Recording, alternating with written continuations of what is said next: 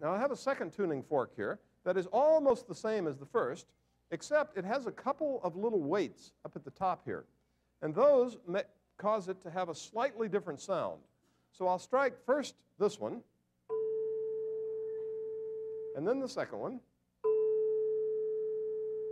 Can you hear a difference?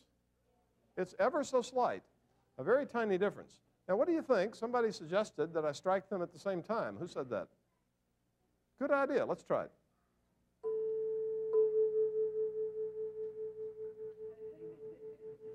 Can you hear it go woo, woo, woo, woo, woo, woo, woo?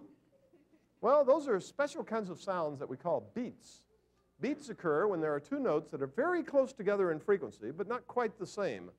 And um, you will get those kinds of beats. And in fact, musicians often tune their instruments by having one musician play a note, another musician plays the same note, and then if you hear beats, you know one instrument is slightly off tune. And so you adjust them until those beats go away, and then you know that they are playing exactly the same note.